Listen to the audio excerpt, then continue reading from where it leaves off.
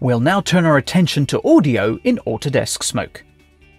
Audio tools in Smoke comprise of a few components. You already know that you can import audio sources in stereo and in mono. The first component to the audio tools is in the sequence. This is where you would deal with the audio tracks and audio effects. The second component of audio is the audio desk that deals with audio mapping, including mixer inputs and outputs. We'll go through the second component in the next video. But let's start off in the sequence. To the right of the sequence, you have the audio meters. This displays a stereo mixdown of all the audio tracks in the sequence. This is just for monitoring purposes. Next, all the audio segments have waveforms on by default. To turn them off, go to the Options pull-down menu and choose to hide waveforms. To display the waveforms, choose the Options pull-down menu and select Show Waveforms with Effects. To scale the size of the waveforms, you can click the audio track and drag it down to make the track bigger. You could also go back to the Options pull-down menu and choose to increase or perhaps decrease the size of the waveforms. Now let's do some audio work.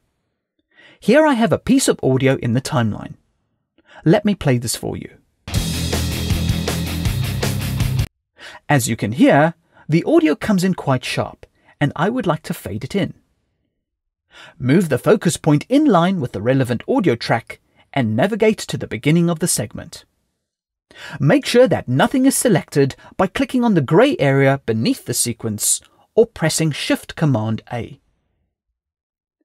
You can click on the transition box in the menu bar and choose Fade. This will apply a fade to the focused audio segment. Move the focus point to the next audio track and press Command T to apply the fade to the audio segment. This will apply an audio transition, and you can adjust the length of the fade.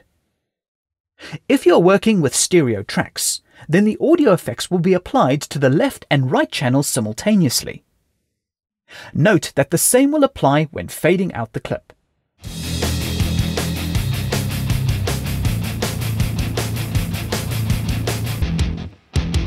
If I want to crossfade two audio segments together, the same principle applies. Navigate to the cut point between the two audio segments and press Command T. Let's listen. So that sounds good.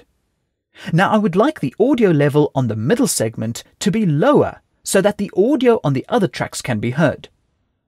Smoke has a variety of audio tools that work directly in the sequence. Please note that the audio timeline effects are segment-based and not track-based, so they will only work with your selection. Just select the segments using Command, right-click, and Add Effect. This brings up the effects ribbon for the audio timeline effects. Here you can apply audio time warps, noise gate, compression, EQ, audio gain, reverb, delay, and modulation. I'll apply the gain audio effects to the segment. The toolbar will display the gain slider, an edit button, and various tool options. Pressing play, you can hear the sequence as well as adjust the slider to hear the sound changes in real time. You could also turn on auto key and animate the gain during playback. This functionality works for all the audio timeline effects. However, when it comes to the gain audio effects, you can also adjust the volume using the rubber banding in the segments. Ensure the edit button is on to enable the rubber banding. Go to the frame where you want the fade to begin. Hold K and click on the slider to create a keyframe. Change the edit mode from Move to Add in the pull-down menu, or press Shift A. Further down the sequence on the grey highlighted segment, click and drag the rubber banding to add a new keyframe. Don't release the cursor just yet. You will notice the adjustments are down to three decimal places. Hold Option and the value is rounded off for easier adjustment. Once you have created a keyframe and you want to adjust it further, press Shift M or change the pull-down menu to Move mode. So we need to keep this audio level under the voiceover. At the end of the voiceover, I want to add a keyframe at the same level before increasing the volume again. You can use the Add mode to add another keyframe or move the positioner to the end of the voiceover. Hold K and click the gain slider to add a keyframe. Press Shift A to go back to Add mode.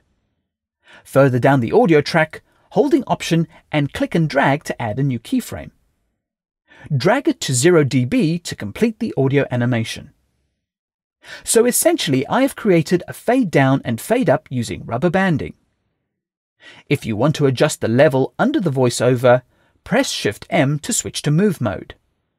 Hold Command and drag a box selection over the middle audio keyframes.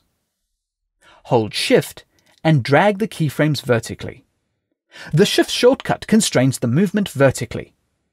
Let's listen to the adjustments.